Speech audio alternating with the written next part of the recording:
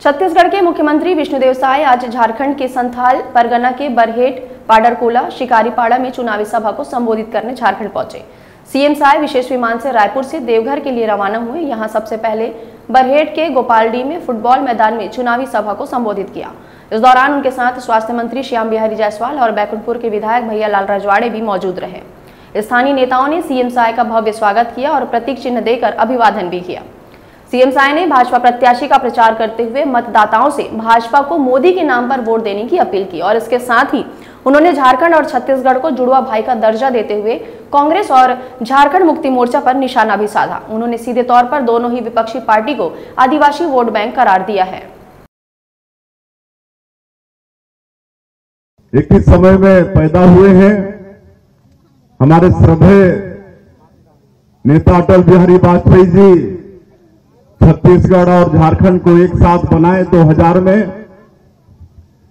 और इस नाते हम लोग जुड़वा भाई हैं। और मेरा तो झारखंड से बहुत गहरा नाता है। हमारी माता जी झारखंड की हैं। खूटी लोकसभा खूटी लोकसभा क्षेत्र में हमारे मामा लोग रहते हैं और वो भी भारतीय जनता पार्टी के नेता हैं। और हमेशा हम लोग यहाँ पर चुनाव प्रचार में आते रहते हैं। जो लोकसभा का चुनाव है, बड़ा महत्वपूर्ण चुनाव है।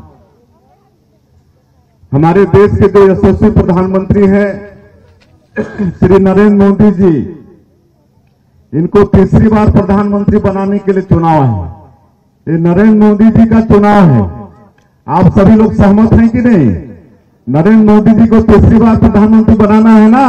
मैं भी आदिवासी समाज का हूँ, इसलिए अपने बंधुओं से निवेदन करने आया हूँ। कि आज़ादी के 75 साल में आप देखेंगे तो 55 साल कांग्रेस की सरकार रही है। लेकिन कांग्रेस ने चाहे ये झारखंड मुक्ति मोर्चा हो, आदिवासियों को खाली वोट बैंक के रूप में इस्तेमाल किया है। बंधुआ मजदूर समझ के रखा, कोई विकास का काम नहीं किया। जब जबकि अटल बिहारी वाजपेयी जी प्रधानमंत्री बने तो आदिवासियों के समुचित विकास के लिए भारत सरकार में पहली बार आदिम जाति कल्याण मंत्रालय का गठन किए। पहली बार। आदिवासियों का विकास हो तो पहले मंत्रालय का गठन कांग्रेस पार्टी कर सकती थी। लेकिन नहीं की, खाली वोट बैंक के रूप में आदिवासियों का इस्तेमाल कांग्रेस पार्टी ने किया। आज इस देश का जो सर्वोच्च पद है, महामहिम